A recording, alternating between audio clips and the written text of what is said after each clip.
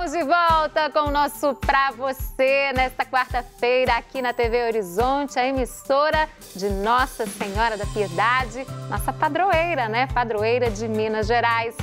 E hoje nós estamos conversando com o Carlos Vasconcelos. Para muitos, como eu disse, o Carlinhos, do Bona Bola, Bona Vida, né? Que é um projeto social que nós vamos falar mais sobre ele neste bloco. No último bloco ele começou a falar sobre o projeto, sobre a criação, mas agora ele vai explicar mais para gente sobre essa iniciativa.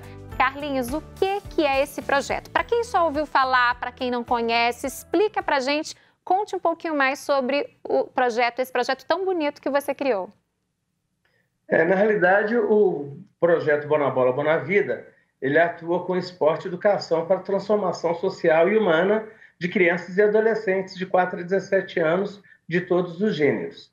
E nós oferecemos aí oficinas esportivas, educacionais, lúdicas em equipamentos públicos, né, que seriam nos parques, nas praças, nos campos e em algumas escolas públicas aqui na região oeste e Barreiro, em BH. Uhum. Então, as crianças são elas têm uma adesão natural, né? São geralmente os parques. A gente tem núcleos aqui no bairro Buritis, no bairro Salgado Filho, no uhum. bairro Jardim América, no conjunto Estrela d'Alva e no conjunto Flávio Marques Lisboa. Quantas Além crianças da... e adolescentes já foram atendidos pelo projeto, Carlinhos? É, geralmente a nossa média de atendimento mês é 350 crianças e jovens. 350 por ano? Por mês. Por mês, olha só, é muita gente mesmo, hein? E o é, projeto... É porque são muitos núcleos, né? E, e dentro das escolas, José Mendes Correia e Cândido Portinari. Já existe há quanto tempo o projeto? O projeto foi fundado no dia 5 de dezembro de 2009, no Dia Internacional do Voluntariado. Então, ele recentemente aí fez 11 anos de fundação. Agora, Carlinhos, como que vocês mantêm tudo isso? É por meio de parcerias, é por meio de ajudas? Como que funciona? É, a gente atua com colaboração né, voluntária e facultativa das pessoas que participam quando podem. A gente conta com várias parcerias, né? E também através de apoio, de patrocínio, de editais que a gente se inscreve, né, nos editais de chamamentos públicos e permutas de serviço, através também de realização de eventos e por aí afora. Uhum.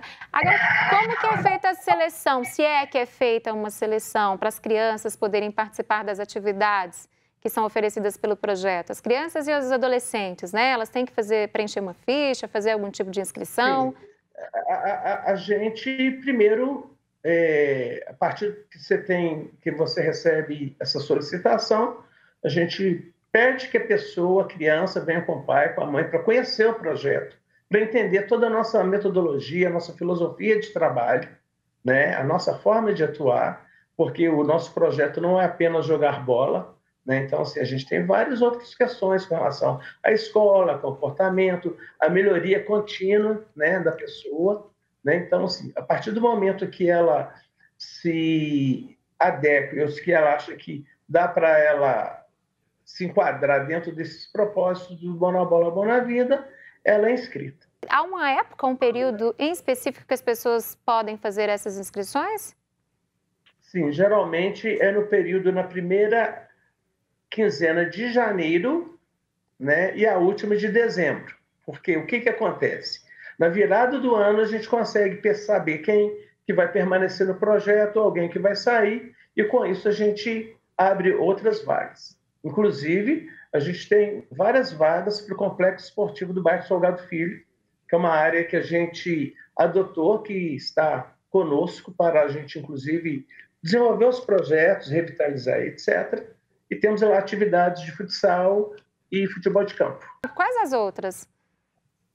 Nós temos também outras atividades. Então, tem o Bora Jogar Xadrez, né? tem as oficinas de leitura, temos as rodas de conversa, temos os, os jogos, os treinos, os torneios, temos as atividades que a gente faz plurais, principalmente eventos. A gente busca sempre fazer ah, o relacionamento das comunidades conhecer os equipamentos públicos. A gente está em janeiro, as pessoas podem entrar em contato com vocês para saberem mais informações e se inscreverem nas atividades, é isso? Sim, sim.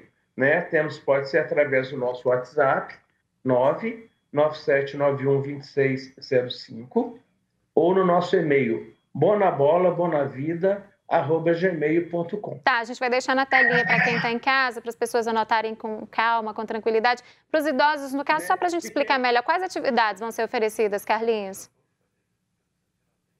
exatamente é, vai ser uma adaptação do projeto para as crianças e jovens. Então, a gente vai ter atividades físicas moderadas, caminhada, corrida, né? Teremos também atividades de lúdicas, né? Jogos de mesa, tabuleiros, algumas viagens para o interior aí. E eu sei Sim, que agora em janeiro vocês vão lançar um concurso, né? E eu quero que você conte para as pessoas e já convide a todos que estão nos Sim. acompanhando a participar deste concurso. Explica melhor como que vai funcionar e depois convida as pessoas para participarem também. É porque todos os anos a gente tem três campanhas temáticas, né? Uma vinculada ao BH sem preconceito, BH sem racismo, uma outra é a cultura da paz e uma outra é a divulgação dos ODS, dos Objetivos do Desenvolvimento Sustentável da Agenda 2030 da ONU.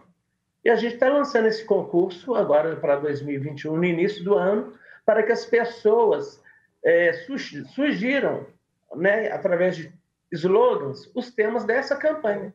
Tá né? Porque sempre. Então, a pessoa vai desenvolver um slogan para uma campanha sobre BH sem preconceito, BH sem racismo, uma outra para qualquer tema para relação à cultura da paz. Então, em 2020, o tema foi Sejamos mensageiros da paz, sejamos mensageiros do amor e da paz. Em 2019, o tema foi Quem ama não mata. E um outro tema, um outro slogan para os ODS da Agenda 2030 da ONU. A gente vai deixar na telinha, vou reforçar, deixar os contatos que você disse agora há pouco na telinha para quem está em casa, para as pessoas procurarem mais informações, buscarem informações para as pessoas também se inscreverem. Carlinhos, muito obrigada pela sua participação conosco. Parabéns por Nós essa iniciativa tão bonita, viu? Isso, a gente sempre tem o tema que crianças não dão trabalho, dão frutos. Obrigado. Um grande abraço para você. Olha só, e você que nos acompanha nesta tarde, pode rever o nosso Pra Você lá no site da TV Horizonte, também nas nossas redes sociais, viu? Um grande abraço para você, uma excelente tarde de quarta-feira e até a próxima quarta-feira. Fiquem com Deus e até lá. Tchau, tchau.